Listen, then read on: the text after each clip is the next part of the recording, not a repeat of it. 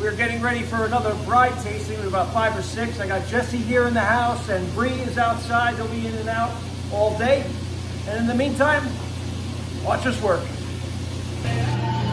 All right, let's go check on the girls. All right, for those of you that don't know me, this is my daughter-in-law, Brianna. Hi. She's out here setting the tables and waiting with us today. With Jessica, whose birthday it is on Saturday, but she lost her voice today, so I get to play with uh, with her. Here. Hi, Jess. Sign language. There you go.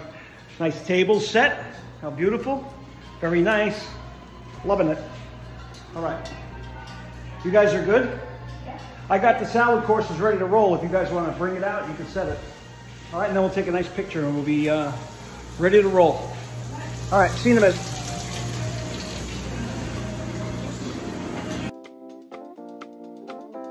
When it comes down